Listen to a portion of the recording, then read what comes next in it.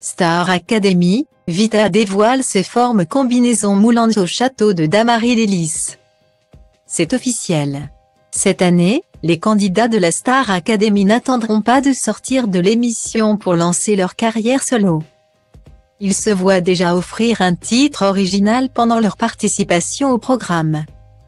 Et parmi les artistes qui ont accepté de prendre part à ce challenge, la chanteuse Vita a écrit une chanson pour une académicienne. Et l'élève chanceuse, c'est Léa.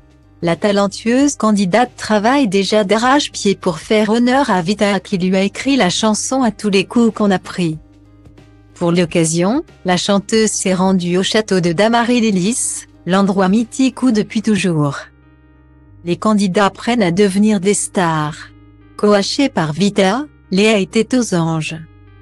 Et bien sûr, Vita n'a pas lésiné sur les moyens pour apparaître plus glamour que jamais.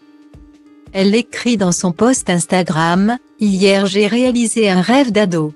Mettre les pieds au château et j'ai revu mon adolescence défiler, parce que même les stars rêvent toujours de pouvoir passer les portes du château qui a bercé les années 2000.